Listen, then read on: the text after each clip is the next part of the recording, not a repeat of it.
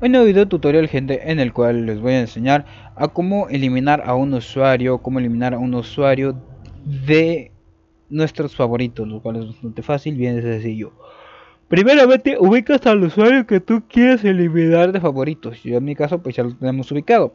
Después de eso vas a darle clic derecho en tu mouse y te vas a ir a esta opcióncita de acá arriba que dice quitar de favoritos. Lo único que tú tienes que hacer es eso, ya que tengas ubicado las aquí, quitas de favoritos y ya está. Puedes quitar a una o varias personas, claro, podemos quitar a una o varias personas sin ningún problema, pero no lo puedes hacer masivo, puedes hacerlo de uno por uno, ¿sale?